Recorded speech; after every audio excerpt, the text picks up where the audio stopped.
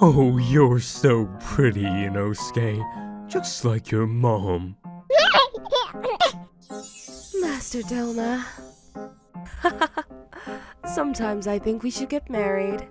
Oh, I don't think I would make a good husband, my dear.